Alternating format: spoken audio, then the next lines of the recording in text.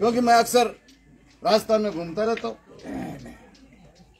और राजस्थान में बड़े दुख की बात है, आज 35 लाख हमारे वोट होते हुए भी हमारा विधानसभा में एक भी एमएलए नहीं बड़ी दुख की बात बड़ी दुख की बात है हमारा, एक एमएलए नहीं, जबकि बावरी समाज बावरी समाज एक छोटा सा समाज है।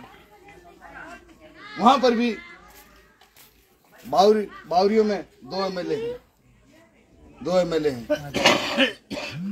मेघवाड़ समाज में हम गिनती करना चाहेंगे तो मेघवाड़ के भी सत्रह एमएलए हैं। जाट समाज की तुलना करते हैं तो जाट समाज के भी चालीस एमएलए हैं। मेरे भाइयों, शिक्षा के बिना जैसे जीवन अधूरा है उस हिसाब से राजनीति के बिना भी जीवन अधूरा है। हमारे लोग पहले राजघराना के साथ रहते थे। राजघरानाओं के साथ रहते थे। तो राज, राजाओं के साथ में हमने ऐसा आराम की और दवाई लेना सीख गए। वो दवाई की परिपाटी आज भी चल रही है। सूर्य अस्त और नायक मस्त? तो मेरे भाइयों मैं कहना चाहूँगा इस नशावर्ती से थोड़ा दूर रहो। दूर कोई भी समाज का पतन हुआ है वो इस नशावर्ती से पतन हुआ है। चाहे कोई भी समाज देख लो चाहे राजपूत समाज देख लो चाहे आज जा, जाटों के लड़के जो कर रहे हैं तो ये पतन का ही इशारा है। आपको कहना चाहूँगा। तो जो जो जिन जिन लोगों ने इस दिशा में गए हैं, उनका पतन हुआ। आज मैं चारों तरफ़ देखता हूँ, घूमता रहता हूँ। मेरी बहने, मेरी बेटियाँ चालीस चालीस साल में विधवा हो जाती और उनके, उनका साथ छोड़ करके उनके जो अंगरक्षक वो चले जाते हैं। अब क्या तो उन पत्नियों को साथ दिया? क्या उन बच्चों को साथ दिया? बड़े दुख की बात। तो सबसे पहले तो मैं निवेदन ये करना चाहूँगा कि इस अक्सर नौजवान भाइयों को ये कहना चाहूँगा कि नौजवान इस नशे की आदत से थोड़ा दूर और जज करके आपको आदत ही पड़ गई है तो दवाई के रूप में ले लो दवाई। एज ए मेडिसिन आप ले लो, वो आपको नहीं दे। ऐसे मत बनो कि वो अपने को पीना चालू कर दे। कहावत है ना, नशा किया तो ऐसे करना, जैसे कादा कीच घर का जाना मर गए, हम नशे के बीच। ऐसे मत बनो मेरे भाई। ऐसे मत बनो।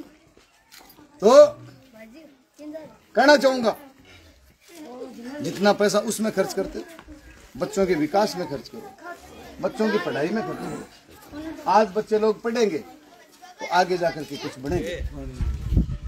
हमारे बच्चे आगे जाकर के कुछ बनेंगे मेरे भाई। इसलिए कहना चाहूँगा, बच्चों को पढ़ाओ। आई राजनीति की बात। तो बिना ही पढ़ाई, बिना तो राजनीति भी नहीं कर सकते। तो राजनीति बिना जीवन अधूरा। राजस्थान में बड़ी पार्टियाँ दो ही हैं, कांग्रेस और भारतीय जनता पार्टी। पर दोनों ही पार्टियों ने नायक समाज को टिकट नहीं दिया। छोटी टिकटें दे देते हैं। पंचायत की दे देते सरपंच की दे देते प्रधान की दे देते वार्ड पार्षद की दे देते। पर एमएलए की टिकट नहीं दी। एमएलए की टिकट नहीं दी मेरे भाई और नहीं देते। और देंगे भी नहीं। कारण है कि अपने को समझते नहीं कि नायक तो होता सा है। मेरे को चुनाव लड़ने की आवश्यकता कहाँ पड़ गई मैं 2013 में वसुंधरा राजे सिंधिया से राजस्थान के नायकों के लिए छह टिकट मांगी थी मैंने। कि नायक समाज को, जहाँ जहाँ हमारे तीस हज़ार से ऊपर वोट है, यहाँ मेरे नायक समाज को छह टिकट दे दो। नहीं दिया। कारण कि मैं पहले बीजेपी बीजेपी का ही था। आरएसएस का स्वयं सेवक रहा। सन सन टाइम से मैं भारतीय जनता पार्टी के साथ जुड़ा था, परंतु नायक समाज को अनदेखा किया गया। धन्यवाद देना चाहूँगा। हनुमान बेनीवाल, जिसने पार्टी बनाई और पार्टी बना करके नायक समाज का मान और सम्मान किया और मेरे को एमएलए की टिकट दी और सुजानगढ़ विधानसभा क्षेत्र से मैंने चुनाव लड़ा। पैंतीस हज़ार वोट लिए और कांग्रेस और भारतीय जनता पार्टी के दांत खटे किए मेरे भाई। ये नायकों की ताकत थी वहाँ। है ना? नायकों की ताकत थी। तो मैं आपको आपकी ताकत बताने के लिए आया हूँ मैं। आपको जगाने के लिए। आपको जगाने के लिए हूँ। हम उस कौम से आते हैं। हम नायक नहीं थे। हम थे भील। आदिवासी थे, वनवासी थे। हम भील थे। जंगलों में रहते थे। और शिकार मारते और खाते। जब राजघराने संकट में आए, राणा प्रताप, वीर शिवाजी, राणा सांगा, राणा कुंभा जितने जितने वीर योद्धा थे, आपकी जान बचाने के लिए जंगलों में चले गए थे मेरे भाई। और जंगलों में हम लोग मिले थे उनको। तो राजघराने से थे। उन्होंने देखा ये तो पत्थर भी फेंकते हैं कॉफ़ी हम डाल करके तो सीधी सामने वाले माथे में लगती है। इनका तो निशाना बहुत अच्छा है। इनको तो तलवार बल्ब भालों की कोई आवश्यकता नहीं है। इनको बंदूकों की ज़रूरत नहीं है। ये तो कोई भी लकड़ी तोड़ करके तीर कमटा बना करके सीधा वार करते हैं। हाँ, तो आपने लाइक सामने वाले को चित। तो ये फौज सेना के लायक हैं। तो राजघराने के लोगों ने हमारे को आपके अंगरक्षक के रूप में और जंगलों से यहाँ शहरों में लिया आए। गाँव में ले आई।